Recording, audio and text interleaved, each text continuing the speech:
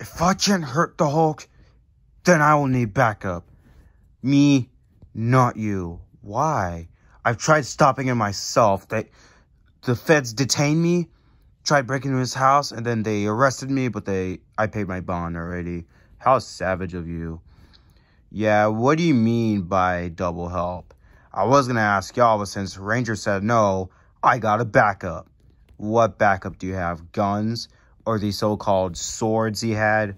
Oh, I have his swords stored in the basement. No one's allowed to touch them. Why? It's that valuable. But anyways, here he comes. Oh my gosh, not this loud thumping again. How big is your house? Ugh. I'm a pirate. Oh god fucking no.